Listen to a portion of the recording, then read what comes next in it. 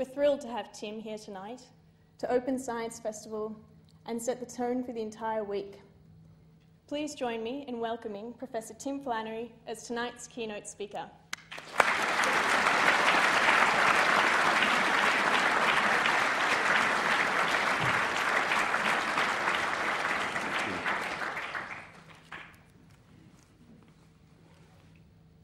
Turn on my microphone. Thanks so much, Haley, for those very kind words. Um, I guess I'm here this evening and I'm in front of audiences quite often, or I'm writing about climate change quite often, because of the future that, that you represent and your generation represent. Um, you know, we talk blithely about 2050 in climate circles quite often, um, and you know, you, you, you read the projections and they're not very pretty. Yet we fail to understand that your generation is going to be at the prime of their life in 2050. It's not very far off, it's 34 years off. And given the complex nature of the world and the challenges we face, I think we all understand we need to really start making a difference now. We can't leave it till 2030 or 2020 even. We need to start now. So that is, uh, I guess, why I have been so passionate about climate change for so long. I can see the world changing in, in, in really quite deleterious ways, and we have to stop that. I want to just um, take it tonight, at least, take a really clear eyed look at where we are in terms of climate change, what the impacts are. And I think over the last six months we've learned a tremendous amount about um, how climate change may start to unfold, how climate impacts may affect ecosystems uh, around the world. So I want, to, I want to touch on that. Then I want to look at science in the broadest sense. So, and, and the, the difference science can make. Not only the sort of science we think of as typical climate science or any of the related sciences, but as far afield as engineering or even political science, uh, social science. I won't go as far as I don't believe economics is a science. We'll leave that to one side. but, uh, but every other contribution perhaps might be worth, worth having a look at.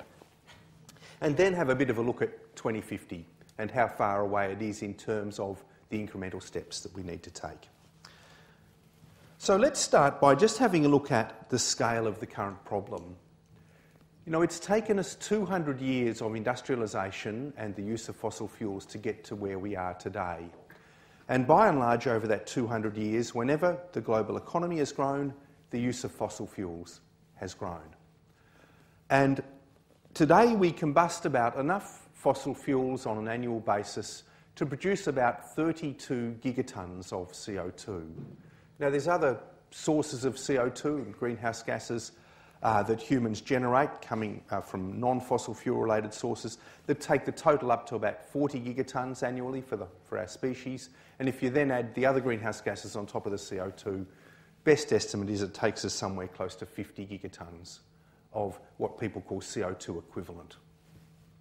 So it's a very, very large stream of, of gas that we're putting into the atmosphere, of gases with uh, warming potential, um, varied depending on the nature of the greenhouse gas that you're looking at. It's interesting, though, to try to get a sense of how large that stream of pollution actually is. You know, one way I've started to think about it is what would we need to do if we wanted to, say, take one tenth of that stream of pollution out of the atmosphere? And, and do it doing, using a method we all understand, planting trees. You know, we all know that trees grow from carbon dioxide absorbed through their leaves and they incorporate the carbon into all of their tissues.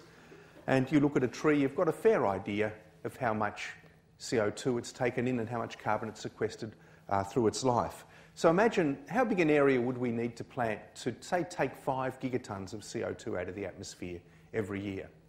Turns out you'd need to plant an area about the size of the contiguous 48 states of the USA to do that in very, very round figures. And because trees all start small, little seeds, yeah, I mean, you've got to grow them for 50 years and keep them well watered and growing and so forth over that whole period um, to, on average, take out about 5 gigatons of CO2 per annum. So, you know, we're talking here about volumes of carbon, at least, or CO2 that register on the planetary scale. They register in terms of ecosystem function at the global level, I think. So, you know, we, we can measure that in, in, in many ways. We can see it through climate impacts, but we can also see it just through the sheer volume of CO2 that we would need to take out were we to uh, reverse our current course. One of the important things to understand about Earth's climate is that it doesn't respond one on one to CO2 in the atmosphere. There are a whole series of things that affect the extent of the warming at the surface of our planet. And so sometimes it slows for a bit, sometimes it accelerates. And the beginning of 2016 saw a real marked acceleration of the warming trend. Prior to the beginning of this year, we were just below 1 degree C of warming on average for the surface of our planet. Um, over the first few months, or first six months of the year, we averaged um, over a three or four month period um, temperatures of around about 1.3 degrees Celsius. So there was a spike in temperature that came about largely as a result of the El Nino effect that releases heat and um, CO2 from the surface of the ocean. We had a, a huge submarine heat wave push its way uh, towards the Australian coast uh, that produced a whole series of changes that I'll talk about uh, in, in a moment. But just to return to that 1.3 degrees Celsius that we've, we've experienced just over uh, the last few months, in some ways, that uh, experiencing that temperature spike was a bit like being given a privileged glimpse into the future. Um, because by 2030 or so, the sort of average global temperatures that we saw at the beginning of this year will be the norm, pretty much, in the 2030s. They'll be what the world is like year in, year out. Of course, their impacts on ecosystems will be different because they're not just a, a transient spike, they're there permanently, and, and changes are entrained in a whole series of, of, of things that occur.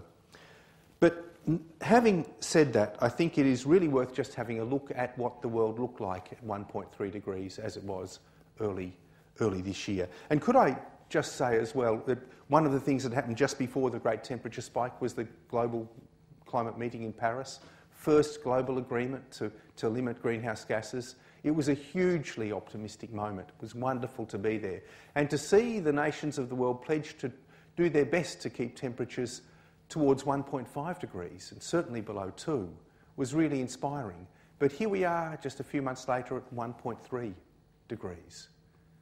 The truth is, there's enough greenhouse gases in the atmosphere over the next few decades to take temperatures to 1.5 degrees, even if we add no more, even if we turned off the lights here this evening and closed all of the coal fired power plants and left our cars where they are and walked home, we'd still be at 1.5 degrees in a few decades.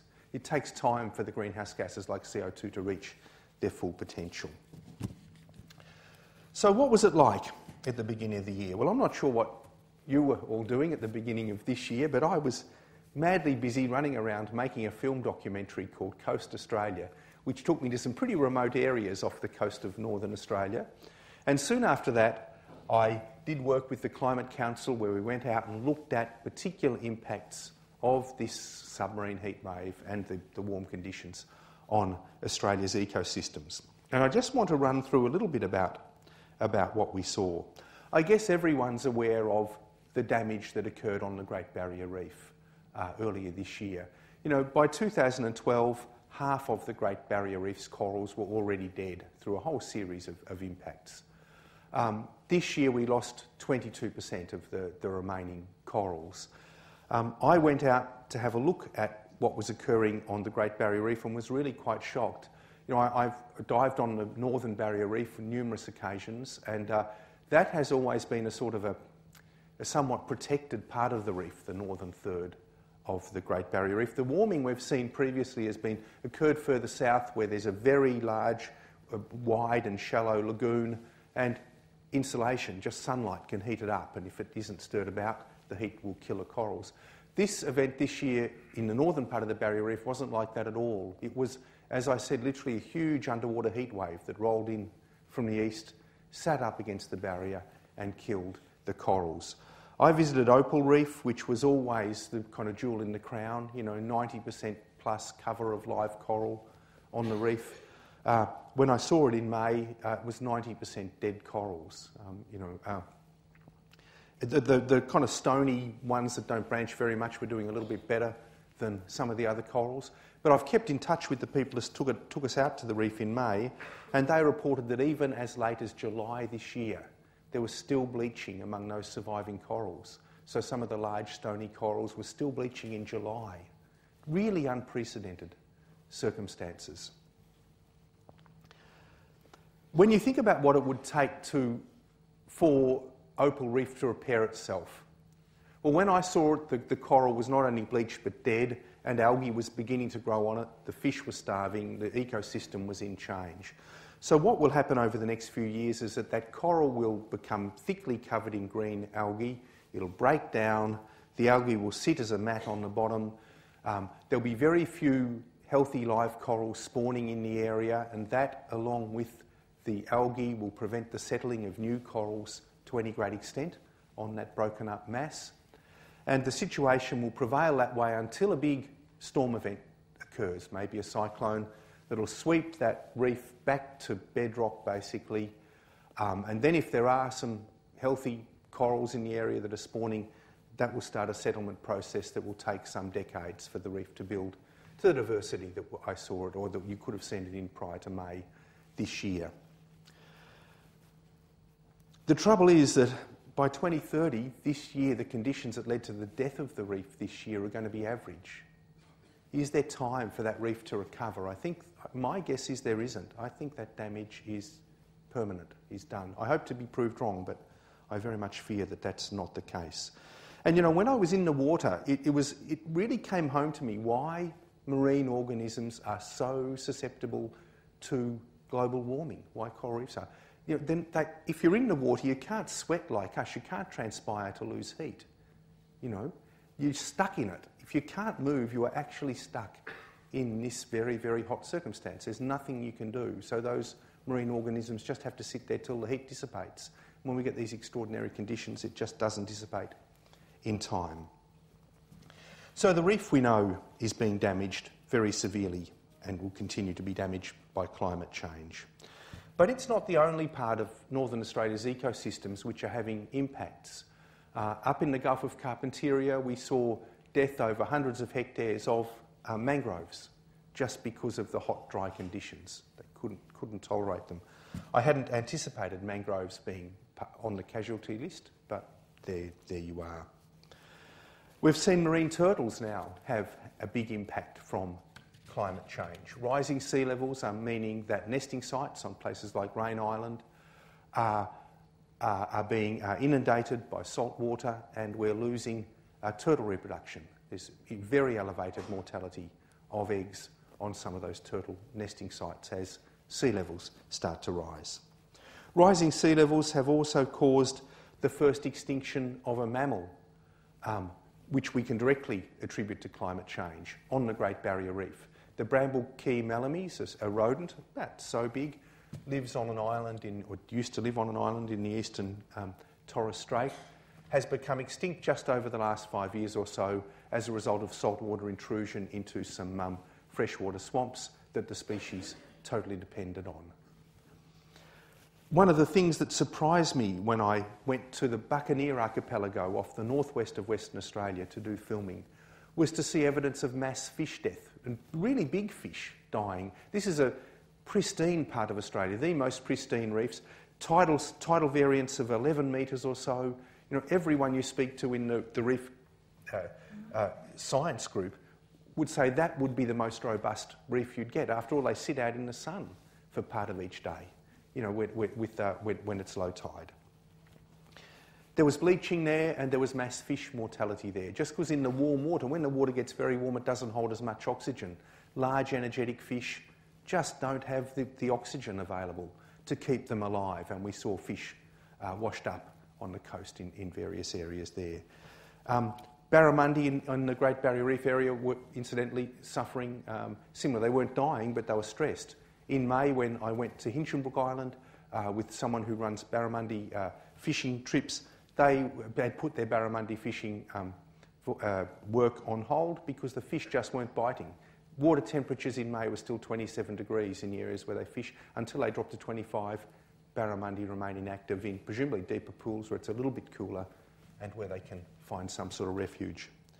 So, my takeaway, I guess, from all of just seeing all of those impacts earlier this year is that we're not seeing only the death of the Great Barrier Reef as we know it, we are seeing a mass turnover of ecosystems, perhaps just the beginning, the first faltering steps of a massive turnover of ecosystems and their function across northern Australia as climate change continues to bite. Now, the extent that that happens, um, I think, is entirely uh, unknown at present, but the one thing we can say is that it will be driven over the medium to longer term by the extent that we keep adding to the problem.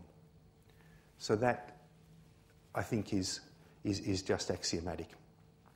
So I came away from those experiences pretty depressed. I also had pneumonia, by the way, as I was diving on the Great Barrier, which wasn't, didn't add to my uh, uh, good feelings. But, um, but um, I did come away from the whole thing fairly depressed. Um, and I threw myself back into work around what I see as combating the problem, really, and started reading uh, what I could and doing what I could in that area, and I'll explain a little bit more about that soon. I guess the really good news that we received um, by the middle of the year came from the International Energy Agency, and that news was that for two years running now, the scale of emissions have flatlined, so they haven't grown. And this is the first time ever, as long as the IEA has been keeping, International Energy Agency has been keeping data, that they've seen the economy grow but emissions stall. Now that's unbelievably good news. It's good news because if you look at any of the projections, if any of you have read Jørgen Randers' book 2052, you'll know the story. No one was expecting emissions to start declining until 2030 or thereabouts. If in fact we're starting to see emissions peak in 2014, that's incredibly good news. It gives us some breathing space. Emissions are peaking at a very high level. They're peaking at about 32 gigatons per year, which is a lot. And we won't know for some years whether, in fact, that is a peak or just a pause in emissions growth because you never know that you've reached a peak until you've gone a fair way down the other side. But nevertheless, I take it as a very good sign that we're seeing, we're seeing that. And I think that what that's due to really is that, you know, if you look at the, the Paris Agreement, the details of the agreement are sort of irrelevant in a way to the sentiment that they give rise to. Now, Paris says uh, the countries that signed that agreement will start acting on by 2020. So, starting in 2020, they'll act to reduce emissions. But what we're seeing, in fact, is a, it's a shift in human sentiment. We know now that the end of the fossil fuel era is coming people are acting now, in fact, or prepositioning now to do things. Um, so the agreement itself is not, it's not the pen on paper detail, it's the shift in human sentiment that I think is really important and that I hope drives us through even further. Maybe some social scientists can explain to me how that happens and why it happened in 2015 and didn't happen in 2009 when we all worked our backsides off to get Copenhagen to be a success. But anyway, it's happened. It seems, I think, that there, there, is, that, there is that shift. I'd like to just turn now to some of the remaining roadblocks, I guess, on our way to reducing emissions as fast and as hard as we really need to. And, you know, all of the, the you know, as I said, the, the, political agreement is we want to stay below two degrees. Um, in order to have any hope of doing that, we need to have decarbonised our economies by 2050 and develop technologies that allow us to draw some CO2 out of the air cost effectively, which a point I'll come back to in a moment. But I just want to look at the roadblocks in terms of reducing emissions at the moment. And I think that many of us in the climate area haven't correctly identified what those roadblocks are. I've been thinking long and hard about them since the rise of Trump and the Brexit vote in the UK and the rise of Pauline Hanson in this country. And I think that all of those phenomena are interrelated and are an integral part of the problem that we face in terms of reducing emissions. And the problem, in a nutshell, as I see it, is that previously disadvantaged communities, communities where wage growth has been slow, where there's been a drift of jobs to, to developing countries, um, where for one reason or another things haven't been going well. They're the same communities that really bear the brunt of the shift away from polluting industries. They're part of the old economy, they're part of the old highly polluting economy, whether it's manufacturing, steel, aluminium, coal, whatever, they're part of that economy. And in a democracy, it is extremely difficult to move forward where you have a substantial group of previously privileged people who stand to lose a lot from, from any, any move. I think that's why One Nation did so well up in, up in Queensland, in Herbert, you know, where the old um, nickel refinery is being closed down, where there's a lot of unemployment due to the coal industry shedding jobs left, right, and centre. So, how do we, how do we deal with that particular roadblock? I, I spent three years of my life as Climate Commissioner. I met tens of thousands of Australians right across the country. Um, I spoke to many, many of them individually. Um, I've got great faith in human nature, I really do, and I think people recognise a reasonable deal when they see it. I don't think we've offered it to them yet. What we haven't done for those people is to say we need to really restructure our, uh, the way we look at our economy in order to give you a better, better deal out of this. We need to redistribute wealth. We need the wealthy to actually start paying in a serious way for some of this transmission, a transition, sorry. Um, and it is a really big transition. I mean, if you think about it, just, you know, at the moment, estimates are that we need to spend about 1% of GDP a year to, to decarbonise that to 2030. That roughly equates to 1% of jobs changing. Yeah? So they, they'll be lost in those old, dirty parts of the economy, which are often regionally concentrated, and they'll be created in new parts of the economy. But the people won't be doing the same jobs. You need different skills, you need different sort of life experience. So I think that that we need to rethink our politics in this. We need to get much more serious about a much more equitable transition than we have before, because I really do believe that that is one of the big roadblocks that we as a nation face. I know that's outside science, but it's within social science and political science, and we're yet to find a way uh, to make that transparent and evident that we all have to give something, I think, for this transition to really start taking hold. So our, our, our politics are lacking at the moment uh, in that area, and that is, that is certainly holding us back. But there is no doubt that even with the best will in the world and the best politics in the world, uh, we need significant innovation and development of technologies if we're to overcome this problem. I want to talk about two kinds of technologies in my remaining time. I'm running out of time very quickly, I can see, but I'll be fast as I can. Um, I want to talk about new clean energy technologies, and we're, we're quite, kind of familiar with those. Wind and solar are doing incredibly well um, and will continue to do well into the future, although they'll be quite challenging to us, I think. Um, you know, to give you an idea of the, the trajectory of those technologies, solar PV uh, has doubled, the installation of solar PV has doubled every two years for the last 14 years. If it doubles every two years for the next 12 years, it will be supplying all of the electricity that humans require. But of course, that's not going to happen because we can't store that stuff adequately yet and at scale yet. We don't have the battery technologies yet to allow that to happen. Um, so I think that we've got a, uh, there's, there's great prospects for growth there, but we need other technological developments if we're to allow those technologies uh, to play the full role that they may do. There are new technologies on the horizon which offer some incredible opportunities for us. One of them is our concentrator solar thermal technologies. It's a very immature field of technological development. There's, there's three or four major ways of generating energy from concentrating sunlight. Um, some of them have turned out to be dead ends. I don't know whether you've heard of the Ivanpah CST plant in California. It's the largest of all of the CST plants. It's nearly 400 megawatts in scale, three gigantic towers. They glow incredibly with the light because of the heat energy. There's a thousand degrees Celsius heat developed up around these things, mirror fields that go nearly a kilometre. Um, the only problem with those technologies, well, not the only, one of the big problems is they keep cooking birds. You know, birds are attracted to the insects, they fly in, go out, smoking the other end, cooks them on the wing.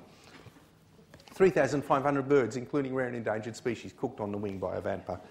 And that's a, just a very minimal estimate. So there are things we have to do, different ways that we have to approach those technologies. I'm involved with an Italian technology called STEM, which is a little, only half megawatt scale plants. I know that particular technology very well. It doesn't cook birds.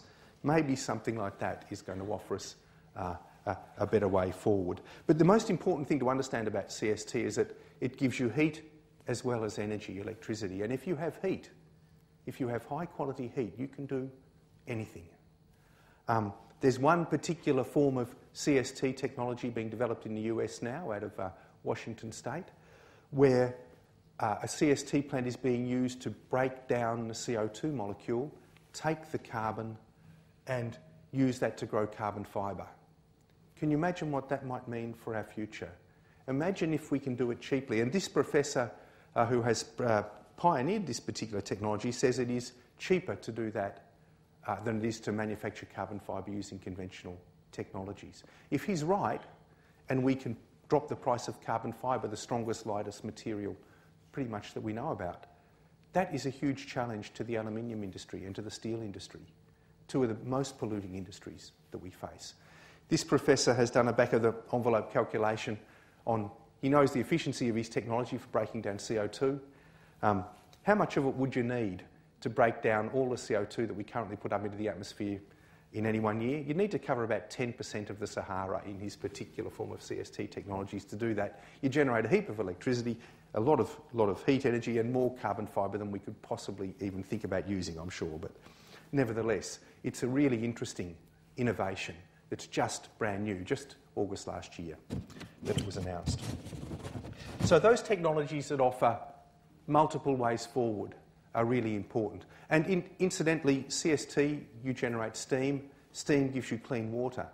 Um, you can use steam to clean soils. You know, 20% of China's agricultural soils are polluted with cadmium. You know, in the developing world, uh, contaminated water is a massive issue. If you're developing distilled water through flash distillation as a byproduct of electricity and heat generation, you've got a great opportunity, I think. So technologies like that are going to be quite important. And those technologies will be slaved to new industries that will transform the way that we live. I was just earlier this year out at Sundrop Farms near Port Augusta. Um, I don't know whether any of you have been out there to have a look at that place, but it's amazing. Um, you go out to Port Augusta and the Northern Power Plant, this terribly polluting old coal fired power plant, is, was giving its dying gasp pretty much when I was out there. Um, it used to be the, most, the single uh, greatest point source of radiation pollution in all of Australia because the coal it burned was full of uranium, just uranium highly mobile in groundwater. Got into the coal, burning it. It was worse than any uranium mine, believe it or not, that old coal fired power plant. But anyway, um, it's closed down now, and the water, the salt water that was used to cool that plant, is now going to a place called Sundrop Farms, which are literally pretty much in the shadow of the, the old coal fired power plant. Sundrop Farms is 20 hectares of greenhouses, um, not, a, not a very large area, you might think, but it produces 10% of Australia's truss tomato crop, um, which are the ones you see in the supermarkets, um, using no fresh water whatever and virtually no fossil fuels. And absolutely minimal pesticides and virtually no waste. Nothing comes out of it but perfect tomatoes and some cuttings. Um, and that's because at the heart of that Sundrop Farms is a CST plant, a concentrated solar thermal plant, that provides all of the heat and electricity that the plant requires to grow those tomatoes in ideal conditions. I mentioned to the manufacturers out there, you know, why don't they diversify and put a cannery in, which would be good for local employment? They said they just don't get enough inferior tomatoes to justify a cannery. They're all good enough to go straight to market. Quite amazing. Um, and being out there in the desert, the land is cheap, if not absolutely free. Um, there's no, no one's growing tomatoes anywhere nearby to provide pests that can get in. And they've got a very intricate system for keeping pests and diseases out. So, Sundrop Farms, an Australian innovation built on the back of clean energy technology, is incredibly important. What they'll do, I think, in the long term is turn the least desirable parts of our planet into the most desirable parts from a food production perspective. Anywhere that you've got lots of sunlight and seawater, you can do a sundrop farm. So, North Africa, um, the, uh, the desert coasts of, uh, of Africa, South America, anywhere around Australia, places where the land has been useless from that perspective, um, I think will become very, very important. I can talk to you a little bit about um, the fate of the salt, the salty water that comes out of those plants, but in short, it's not going to be as big a problem as, um, as I at least had first thought. So I just want to turn now to uh, technologies that can take CO2 out of the atmosphere and make something of them. I mentioned to you the carbon fibre story coming out of the University of Washington, or, uh, sorry, George Washington University. Incredibly important, I think. But all of the technologies that we know about that can take CO2, take the problem out of the air and make something with it or do something with it, fall into two great categories. There's the biological means of doing something and the chemical means of doing something. And I want to just deal with biology first. When I began the talk by saying that if you wanted to take five gigatons of CO2 out of the atmosphere, you'd need to plant the contiguous 48 states of the US in trees. It gives you a sense of the scale of the problem and the limits that terrestrial ecosystems have in addressing this. I think we can do some important things on farm, and I think protecting forests is absolutely fantastic, and we desperately need to do it. But the really scalable solutions to drawing CO2 out of the atmosphere using biological processes are going to be marine. Um, seaweed farming is taking off around the world for very good reason. You know, seaweeds grow 30 to 60 times faster than land-based plants. They ter- turns out that some species are very, very valuable food or fodder products for uh, high-quality uh, marine produce like abalone, abalone. The problem at the moment we have is that all of the seaweed agriculture we have is near shore or onshore. Um, and that means that you are very limited in terms of sequestering the carbon in that seaweed. We recycle it back into the system through using it. There are ambitions, I should say, rather than plans, but there are ambitions to create mid oceanic seaweed farms. In fact, there's been some experimental work done in this area by both the US and China. And I think that we are ripe to see major new innovation in this area. And I'll just leave you with a, vision of that. Can you imagine a seaweed farm that's a square kilometre array that's sunk 25 metres below the surface so it's not a hazard to shipping, that um, is mobile, can move around slowly, maybe you'd put it in the doldrums, um, that pumps up uh, nutrient rich seawater from 300 metres down and uses that to irrigate the kelp farms that grows on those kelp farms lots of high quality protein, whether it be prawns, shellfish, abalones, or, or fish, whatever it is, but in that square kilometre array, and uses the kelp to feed those organisms, and that sends to the bottom of the abyss, three or four kilometres down, a, a rain of carbon rich material caught by biological processes and sent into the depths. Um, because it'd be mobile, you wouldn't be building up a problem in, in one area. I think it's quite possible that we could do this and permanently sequester the, the CO2 in the ocean depths where, over geological time, much of it ends up anyway, um, by developing that sort of aquaculture. The biggest problem, well, many, many problems we face, but one very obvious one is that you're a lot further from market out in the middle of the ocean than you are near shore, which is why people do stuff near shore. But if you want the real benefits of getting CO2 out of the atmosphere, you need to somehow make that, that particular um, process work. How much of the ocean would you need to cover with those sort of seaweed farms to draw down all of current emissions? Turns out about 9%. An area four and a half times the size of Australia. Large, but not unfeasible. And given that the world is looking at uh, a 69% increase in demand for calories and particularly demand for high quality protein, I can imagine markets for all of that aquaculture produce.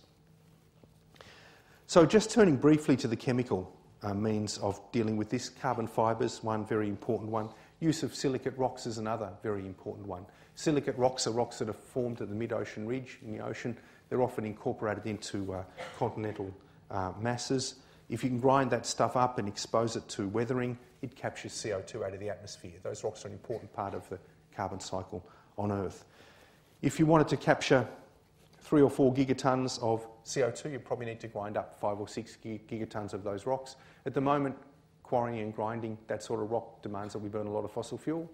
May not be the case in future. I don't know whether we'll have giant windmills with hammers on them or something that'll be breaking them up. Be some high tech thing, no doubt. But anyway, there'll be some way, perhaps in future, of using silicate rocks to help draw CO2 out of the atmosphere. Carbon negative concretes is another obvious one. The stuff already exists. We know, we know how to make it. Um, but we need a sect- sectoral carbon price in the, in the concrete industry in order to foster that technology, I think. It's important because concrete manufacture is responsible for about 5% of current emissions, so quite large. A really, really interesting one uh, turned up recently, just late last year. Some researchers from the University of uh, South Korea uh, developed the first proposal I saw for capturing a non CO2 greenhouse gas. There's probably others out there, I just haven't come across them. This one involved the capture of atmospheric methane using a very prosaic material, using coffee grounds. So if you take coffee grounds, treat them chemically, and heat them to 900 degrees C, how would you do that? You'd have to use something like CST technology, yeah, concentrated solar, because it's clean green heat. If you do that, the coffee grounds turn out to be absolutely fabulous at capturing atmospheric methane. You can then take the charged coffee grounds and burn them as a very high quality fuel. The researchers who made the announcement said it looked to them to be the best way forward, at least as far as they understood for, uh, for capturing atmospheric methane. And atmospheric methane, responsible for somewhere, I think it's 20 to 25% of current warming potential um, that we're seeing. So some of that sounds, oh, I should just say, you know, it'd be lovely to think, wouldn't it, that every cup of coffee we drink brings us one step closer to sustainability. Well, maybe, maybe it could be. Um, so from 2016 to 2050, we somehow have to take these ideas and thoughts and what might appear to be some madcap notions, we have to take them and capture them and make them massive industries. It seems impossible. I mean, I often hear people say it's just not, not going to happen. But I think it will happen. Maybe not those very industries, but something like them, because we know the demand's there. The, the gas is hanging over our heads. It's not going to go away. We know how it will drive adverse changes on Earth. We know future generations will need to get it out. We need to start the investing now to enable that to happen. Why do I think that this will happen? I think if you just look back on history, you see why. Um, if we just imagine for a moment that we're not in 2016, but we're in 1916, and that we're trying to imagine the world of 1950. Imagine 1916 here in Melbourne. It'd be horse-drawn uh, uh, transport, mostly on the streets. We'd have street lights, electric street lights, but homes would be basically powered by mum's muscles, you know, rather than all of the electric stuff we've got at the moment in, in the house. Um, and at school or at university, you would have had a map. If you want to understand the world, you go to a map that would be colour coded according to the great European empires that hadn't changed for ages. There wouldn't have been a single communist country on that map. And you would have been interested in the war, that's for sure. 1916, big things happening on battlefields in Europe. Um, no tanks yet, though. It would have been September before you got your first tank on a battlefield anywhere. There would have been some aircraft, biplanes buzzing overhead, but not really used for combat, just uh, for observation. And horses were still playing a massive role in the war. So take that mindset if you can. Imagine being a person in Melbourne at that time with that understanding. And project out to 1950, you know, a world where half the population pretty much is, is communist, where we've had nuclear weapons, um, jet aircraft, uh, where electrification in the home has totally changed things or beginning to totally change things, where the horse is a, is, is a curiosity in the city, if it exists at all, still uses farm labour, but, you know, in cities basically banished by fossil fuels. So just it, that transition seems absolutely unimaginable, I think, to, any, to anyone with a 1916 mindset. Just as the world of 2050, I think, is unimaginable to us with a 2016 mindset. One of the great resources we need as we go forward is the imaginative space to think about solutions that are required and to give rein to the possibility of developing them. And that's the one resource I hope that young scientists take away from this evening, people studying science. Give yourself the imaginative space to follow your dream into this. Don't let people tell you that it can't be done or it won't be done. Um, we know it can be done and we rely upon you to do it. So thank you very much.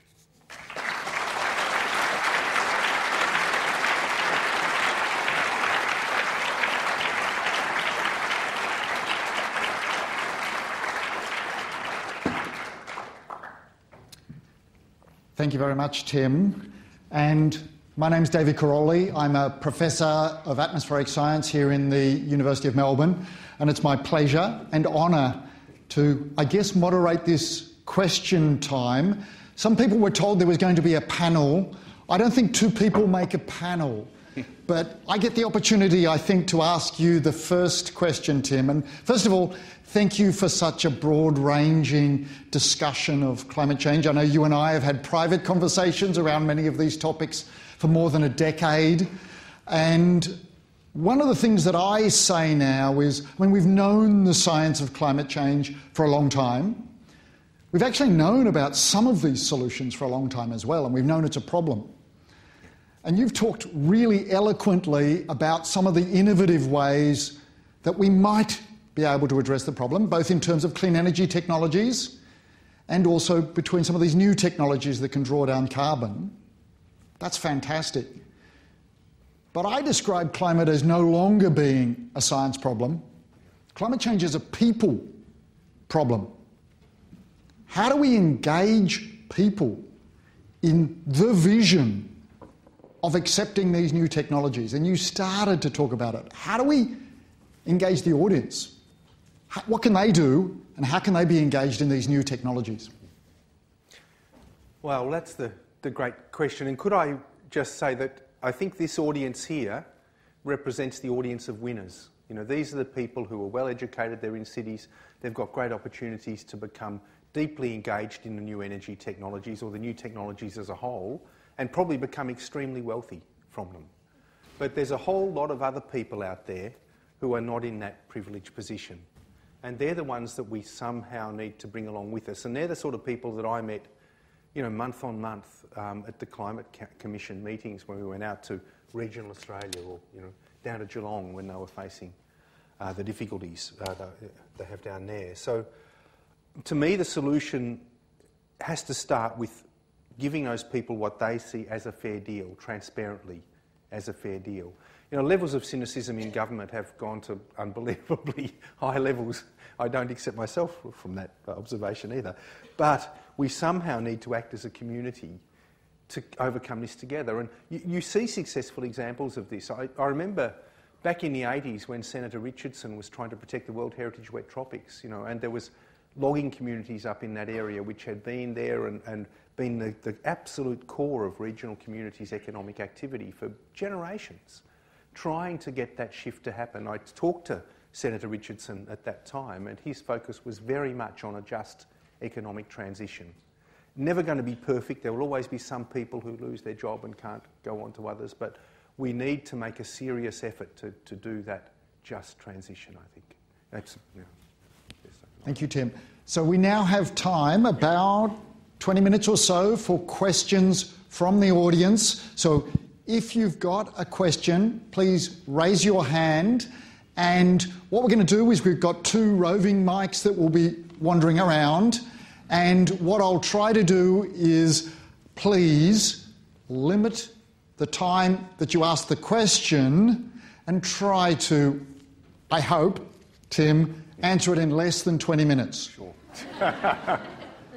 Thank you. And the first question is here. Uh, thank you, Tim. Excellent talk. Um, in the absence of any political leadership or courage currently, how do you think Australia is placed in terms of fostering this innovation for the young people that are in the room today that have ideas? You know, are you seeing it the way forward as being more driven by industry, innovation, and engineering than it is going to be by any sort of public policy? I, look, I, I, it's very hard to get away from the need for public policy in, in this area. Um, for, for, a number of a number of reasons. One is that uh, if we turn first to those those technologies which are at the desktop level at the moment or an idea type level. Just say, just say there was someone in the room who was interested in seaweed aquaculture or some detail of that, or, or uh, carbon fibre manufacture. I mean, you, you, can't just often turn to an industry and ask them to fund that stuff because it's at a very, very fundamental stage. What we, you know, we've got a $1 billion innovation fund in this country to foster innovative technologies and approaches. I would be st- strongly recommending to the Prime Minister or the head of the fund that we quarantine a fairly sizable hunk of that for these new technologies that bear directly on the climate problem. Because we need that research money, we need the R&D money, we need the angel investors, you know, we need government help all the way through that process till you've got a product that you can actually engage, you know, with an industry about. So I, I, I, I think government's going to have to play a, an integral role in this, you know. And we, we see it even with the, I mean, if you're just talking about energy, you know, tariffs, subsidies, hidden subsidies, subsidies for fossil fuels, yeah, there's no such thing as an even playing field out there. Government's just an integral player in the whole thing, you know. So we do need government to, to, to, to work with this as, as difficult as that is, you know. I think we've got an opportunity. I mean, as far as I know, Minister Frydenberg, the new energy minister, and um, he's, uh, he's probably the first energy minister we've ever had that's not been the minister for coal as well. He may be the minister for gas, but you know, at least he's the, not the minister for coal. So maybe there's some hope there. Uh, yeah, hi, Tim. Um, in the areas you've visited around Australia, based on your observations and perhaps scientific research, are there any species taking advantage of the changing environments and adapting to it? Look, I'm, I'm sure there are. Um, I'm not enough of an ecologist to be able to give you an absolutely good answer to that because, you know, you know ecosystems are complex and um, mm. uh, there's, there's a whole lot of factors that have an impact. So, I mean, when you were asking, I mean, the one I was tempted to say that all that algae that grows on the coral, you know, but again, that's like there are fish that normally keep that in in check, you know. So it's, they're complex ecological problems. So you'd really have to ask an ecologist. I'm sure there are though. I'm not an ecologist, but the answer is that in fact in the northern hemisphere on high latitude land areas, scrub and trees are growing in areas at high latitudes which have warmed and the summers have got longer. And in fact, the net primary productivity of the planet has grown. There's more plants growing now than 30 years ago because it's warmer and there's more CO2 in the atmosphere. Now, that has been used as an argument for why we should continue to increase the CO2. It's a very short lived argument because it won't continue. Other questions? Thank you, David. Could, could I just add something to that? I mean, one thing we have to understand about climate change is that it's a process, it's not a destination. So, what might be good for those scrubs and trees now, in a few decades' time, might be bad for biological productivity. Yeah, what I want to do is try to avoid the people in the front of the room getting the opportunity to ask questions. So we have a lady in the back. I also like to try to include as much gender balance in the questions as possible, not give the men the first turn. So the lady in the back, please. Um, thanks, uh, Tim. To what extent, uh, if at all, do you think that universities should be accountable um, for churning out graduates in non renewable sectors. Wow, in, in terms a, of being involved in this transition from non renewables to renewables? That's a very deep philosophical question. I, I don't, you know, I really hesitate to sort of be prescriptive about what universities can teach. In some ways, I feel that they, they don't teach enough. I mean, look, I, just from my personal experience, I went to La Trobe University at a time when I could do a degree in medieval and uh, not a degree, take a course on medieval and Old English. You know, you can't do that anymore, as far as I know, out there. Um, I did a, a fab, fabulous course on um, colonial uh, Portuguese and Spanish history. Wonderful. I just think we should teach as much as we can across universities. In terms of the non-renewable stuff, I, I guess really. You, God, you'd hope the market would take care of that. But you know, again, even if you think about petroleum geology or something like that, I mean, there's a lot of really good geology in that that may be used for good in the end. I mean, if we're looking at, for example, example putting all that carbon somewhere underground, some of that technology and some of that know-how might eventually be valuable. So I, I really hesitate to, to be prescriptive. And maybe on the same note, the university has introduced a sustainability charter which does specifically include the teaching of sustainability as one of the streams within teaching, research, and related areas. So, and engagement, and this is obviously part of the engagement on sustainability.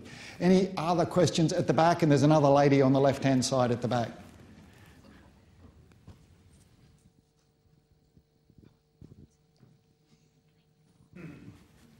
Hi. Um, you talked about um, technologies to sequester carbon. Um, and I'd like your opinions on the whole idea that we should be looking at how we can sequester carbon when that possibly um, doesn't force us as humans to change our behaviour and to change the way our economy operates. And also, given that we have limited resources devoted to research and development, should we be using those limited resources to figure out how we can sequester carbon or battery storage, for example, with you know really renewable green technologies?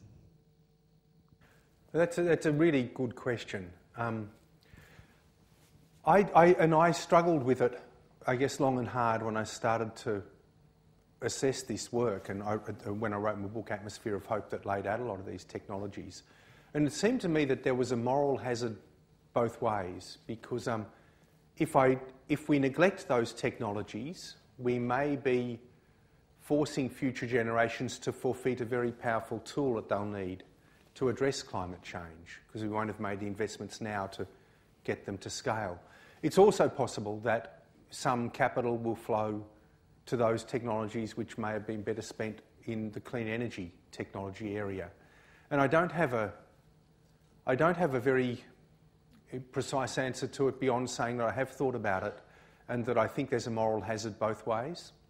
Um, but what I can see is that it's going to be enormously difficult for us to stay below two degrees. And my, my personal conviction is we're going to need every single tool in the toolbox. And it's going to be the most cost effective of those ones that'll, that'll win out eventually. Here in the front. Thank you. I'm proudly in the front, so thank you for letting me go. Tim, you talked about the social aspect of it, and I'm going to unashamedly give a plug to something in a moment. But before I do that, let's consider that we have people, a lot of them, at that lower level where they depend on their car and their job, etc. And they don't see the benefit to them. That's right. However, what if it was about their family and their children and their grandchildren and their life? Now, that's something that's possible, and I'm a graduate of Melbourne Uni, and nearly 40 years ago I was started here. I'm now volunteering with the Wilderness Society, and there's a thing called the Community Organising Training. I attended that training a few months ago, and next week on Monday I'm flying up to do an advanced course. It's all about connecting through the local community, mm-hmm. having leadership, so local issues, but with a structure and mm. a support and a focus that can draw them in, and it's through relationship with those individuals and those communities. So, my question is is that a way that you can see is going to be effective, and how can we support it? Uh, and I'm doing that. I, I am supporting myself. Okay. Look, I, th- I, think it is, it is worthwhile doing, and it's, it's effective, but I don't think it obviates the Im- immediate need that people have. Um, can I just tell you one little story from my time as climate commissioner? We went to central Queensland and um, had an audience full of pretty, you know, people who obviously work on the land or in coal mines or whatever. And um, George Christensen, the, the, the skeptic um, liberal, was, was in the audience as well. And I remember we talked about coal and uh, you know, the future of coal and all the rest of it, and, um, and about climate change. And Will Steffen gave a fantastic overview of the climate threat. And this bloke stood up, a bit like you, big tall fella, kind of craggy, a bit dirty hands, you know. And he said, yeah. He said, look, he said, I was, um, he said, I understand what happened, what's happened. I said, I used to be a farmer. And he said, I now know that it was climate change that drove me off the land, forced me to sell up. He said, I had to get a job. I've got two daughters, they're nine and 11. He said, I, I, the only job I could get was in a coal mine. He said, tell me, am I doing the right thing? It was just this incredibly difficult moment, you know, and it, all you can say to people like that is, you know, your first priority is to put, you know, food on the family's table. You know, that's the first thing. Um, and we hope that as a society we can make a better transition. But I do, it, for a lot of people, it's down to that level. It's down to that. It's a, it's a real threat, you know, the, in these declining communities. And I think we, that's the, first and foremost what we need to address with real energy, you know, and commitment to let them know that they're not going to get left behind, that we can do this as a community. Other questions? I'm looking at the back.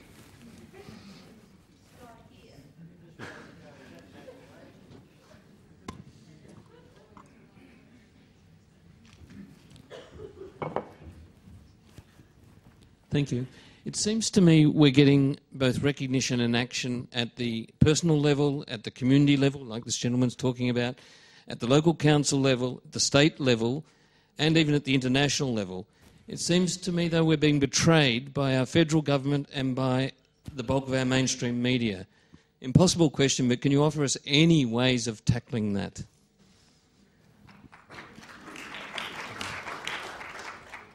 Well, I do think, I think that, you know, if, we had a Prime Minister who stood up and said, look, it's, we're going to hock something, we're going to go into debt, we're going to, you know, it doesn't matter about the AAA credit rating, we're going to get this transition right, and we're going to take care of people as we do it, and here's the long term plan.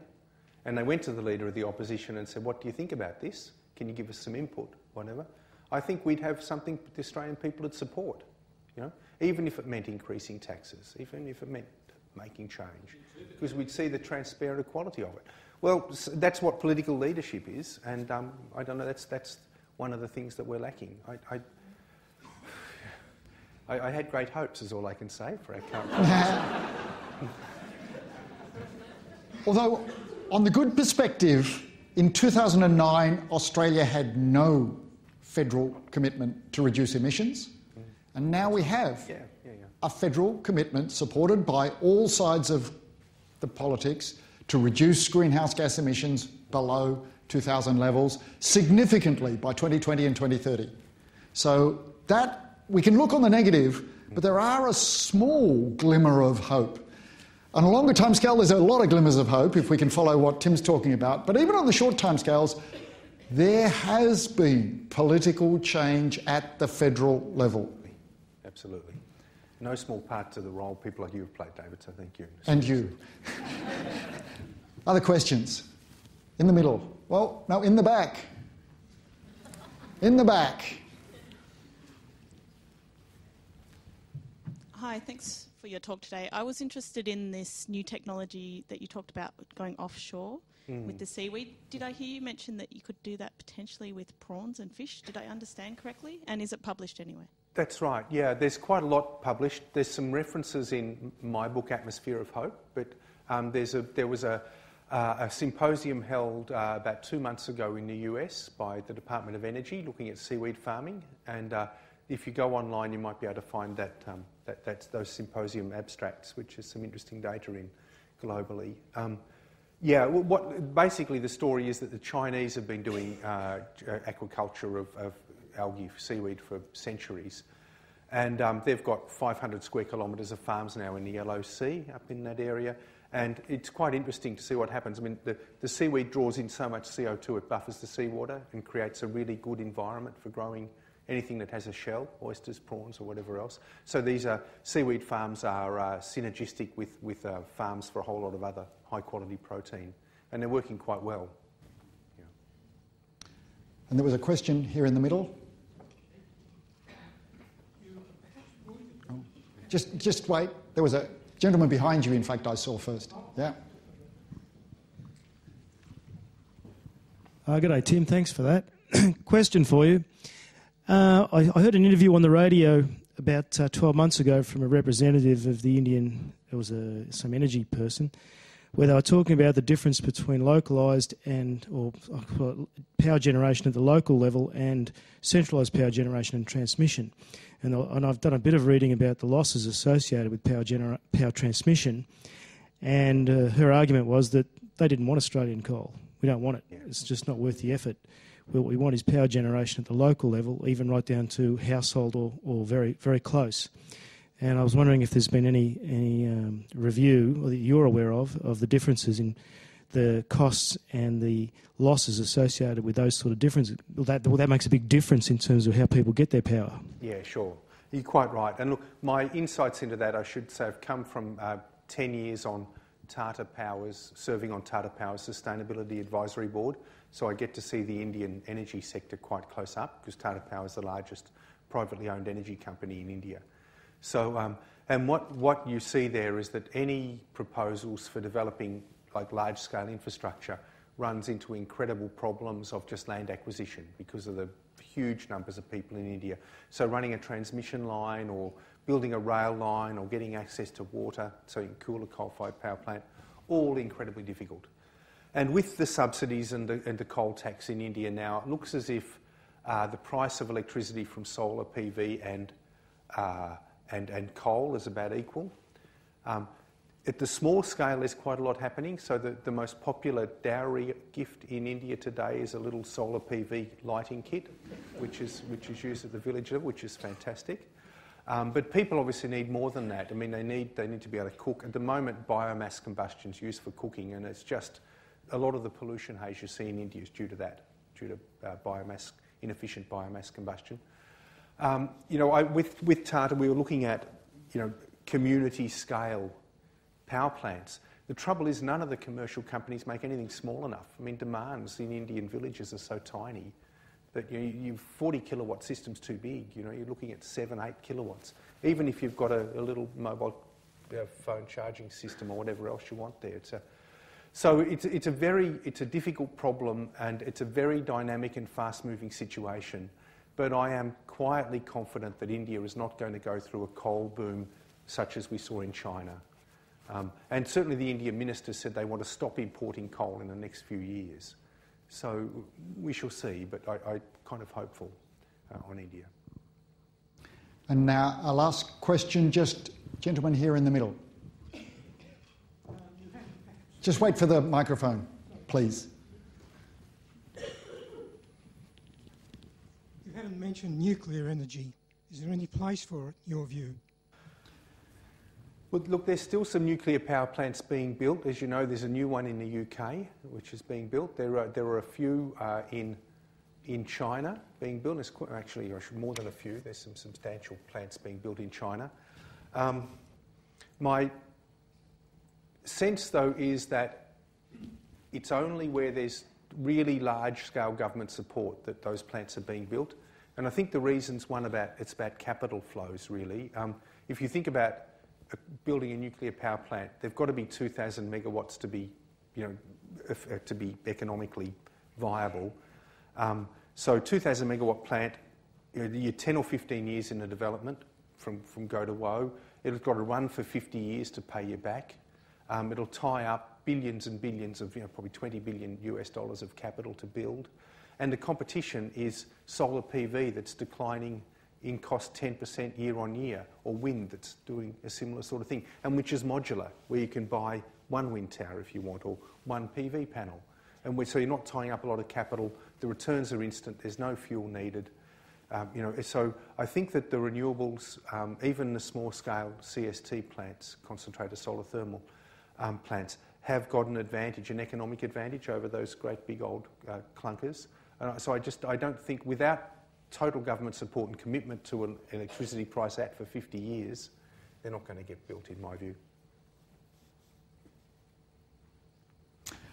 So, Tim, your talk today was the first of the series of talks as part of the Science Festival. If any of you are interested in finding out more about the Science Festival, the website is here. It's got a Twitter handle, of course. I don't know how to tweet, but someone does. I think it's my kids. Um, but yes, please find out. There's a whole series of events over the next week. And following that is the University of Melbourne Open Day.